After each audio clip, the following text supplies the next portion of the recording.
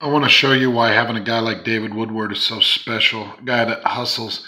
He's going to get blocked up just a little bit and maybe even just a touch out of position here. But I want you to see this is a really well blocked play by Wyoming. It's going to be a quarterback draw.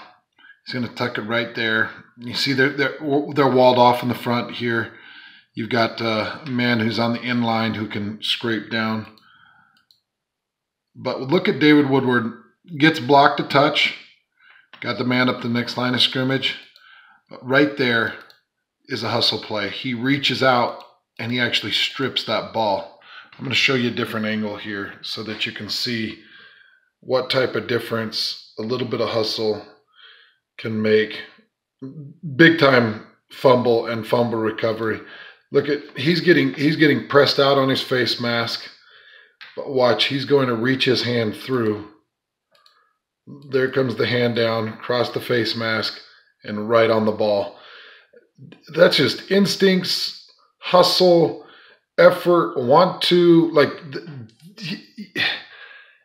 I wish that I had a thousand dudes like David Woodward to play the game of football because look at this, gets his hand right on it and strips it, all out of hustle. And then Utah State comes up with it. Love watching Utah State fly around. I love the way David Woodward plays the game.